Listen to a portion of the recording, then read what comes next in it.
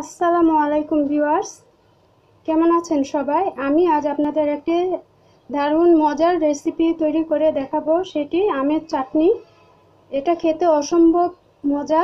অবশ্যই আপনারা এটা রান্না করবেন। আমি এখানে দুটি আম সিদ্ধ করে একটা চাটনিতে চেলে নিয়েছি। দেখুন, আমি আপনাদের দেখানোর জন্য এটা রেখে দিয়েছি। এখানে আমের অবশিষ্ট আঁশগুড়ি রয়ে গেছে। আমি এরকম একটা চাইনিতে চেলে নিয়েছি। চেলে এই কাতটা বের করে নিয়েছি পাট যেটা। এটা দিয়ে আমি এখন আমের চাটনি তৈরি করব। এজন্য প্রথমে আমি একটি পাতিলা চুলায় বসিয়ে দিয়েছি। চুলাটা অন করে দিলাম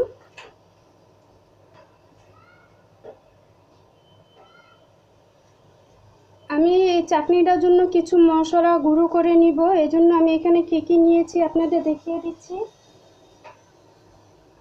আমি এখানে এক চা চামচ পরিমাণ পাঁচ ফোড়ন নিয়েছি, দুটো শুকনো মরিচ নিয়েছি, একটি দারচিনি নিয়েছি, এখানে হা- হাফ চা চামচ পরিমাণ মৌরি, যেটাকে মিষ্টি সব বলে, এটা পান দিয়ে খায়, অনেকে হয়তো চিনেন না, এটা মিষ্টি সব। অনেকে এটা মৌরি বলে, আর এখানে আমি হাফ চা চামচ পরিমাণ আস্ত জিরা নিয়েছি। এখানে হাফ চা চামচের থেকে একটু বেশি পরিমাণে আস্ত ধনিয়া নিয়েছি, একটা তেজপাতা নিয়েছি। এগুলোকে আমি এখন তেলে গুঁড়ো করে নিব। এজন্য আমি কড়াইতে এগুলি সব ঢেলে দিচ্ছি।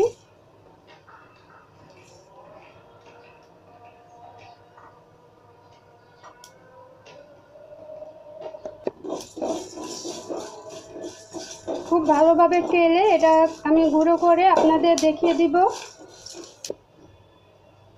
ভিউয়ার্স, দেখুন, আমি মশলাটা গুঁড়ো করে নিয়েছি। আমি এটা বেশি মিহি গুঁড়ো করিনি, একটু আস্তে আস্তে রেখেছি যাতে খাওয়ার সময় তাতে একটু একটু কামড় পড়ে এরকম। এবার আমি রান্নার কাজে চলে যাব। আমি এখানে একটি কড়াই বসিয়ে নিয়েছি, চুলাটা অন করে দিব।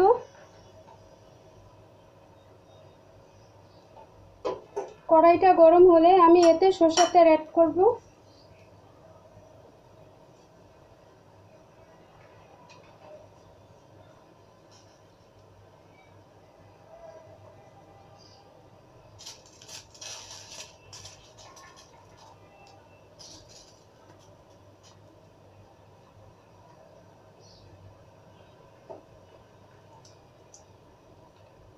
আমি এতে সরষের তেল দিয়ে দিব আমার চাটনির অনুপাতে আমি সরিষার তেল দিয়েছি আমার পরিমাণ মতো, আপনারা আপনাদের পরিমাণ মতো তেলটা দিবেন। আমি এখানে রসুন মিহি কুচি করে রেখেছি, বেটে নিয়ে কুচি করে রেখেছি, আর এখানে সরিষাটা, কালো সরিষা নিয়েছি আমি এখানে। কালো সরিষাটা আমি আদা বাটা করে বেটে নিয়েছি। এখানে প্রায় দু টেবিল চামচ পরিমাণ, এখানেও দু টেবিল চামচ পরিমাণ। আমি দুটোটা দিয়ে দিব এতে।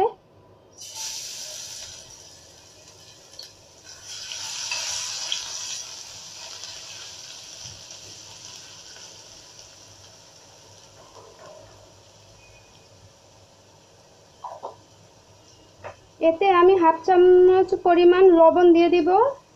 আমি এখানে লবণের পরিমাণটা কম দিয়েছি, আমি পরে এটাতে বিট লবণ অ্যাড করব এজন্য। এটাকে একটু নেড়ে নিব।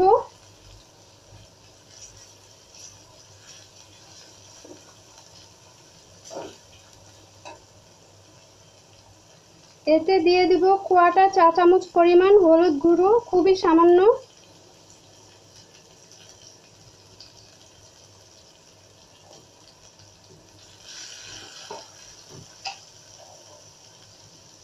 আর একটু দিতে হবে।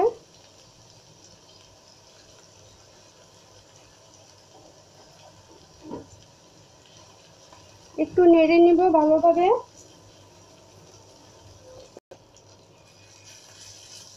আমার মশলাটা একটু বাজা বাজা হয়েছে। এবার এতে আমি এখানে যতটুকু আমার আমের পাত বের হয়েছে, ঠিক সে পরিমাণ আমি চিনি নিয়েছি। আপনারা পরিমাণটা সমান সমান রাখার চেষ্টা করবেন।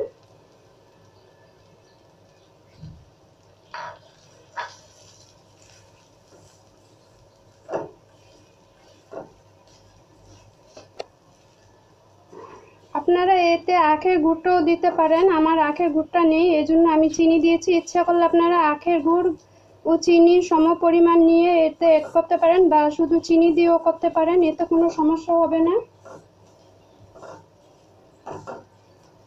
এতে আমি আমের পাতা ঢেলে দিব।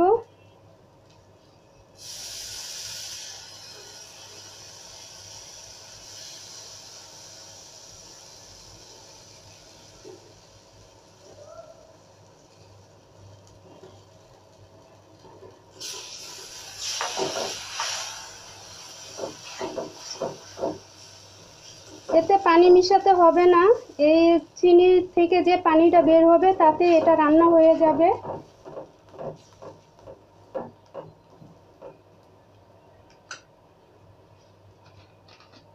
এতে আমি তিন টেবিল চামচ সাদা ভিনেগার দিয়ে দেব। সরি, এক টেবিল চামচ পরিমাণ দিব আমি, এতে বেশি দিব না, যেহেতু আমার আমটা কম। আমি এক টেবিল চামচ পরিমাণ সাদা ভিনেগারটা দিয়ে দিব। এটা একটু বলক আসা পর্যন্ত অপেক্ষা করব। বলক আসতে দিব এটাকে।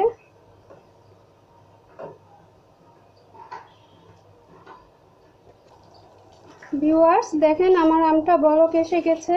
এটা ফুটে উঠেছে। এতে আমি গুঁড়ো করে রাখা মশলাটা দিয়ে দিব। এতে হয়তো বেশি পরিমাণ দেখা যাচ্ছে, কিন্তু এটাই পারফেক্ট রেসিপি এতে দেওয়ার জন্য মশলাটা ঠিক পরিমাণ দেওয়া। আমি পুরোটা এটাতে দিয়ে দিব।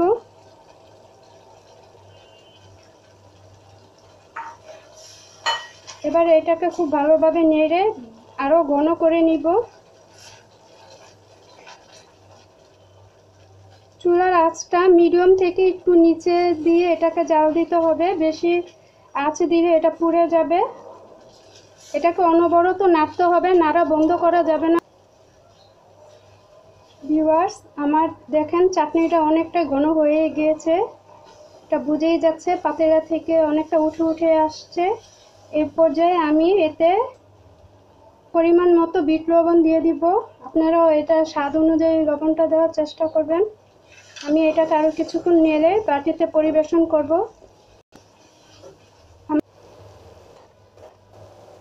আমার চাটনিটা হয়ে গিয়েছে, এবার আমি চুলাটা অফ করে দিব। আপনাদের দেখিয়ে দিচ্ছি।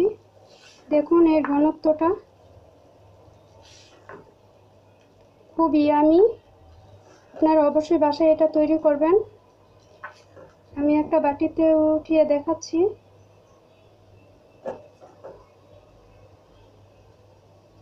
দেখুন।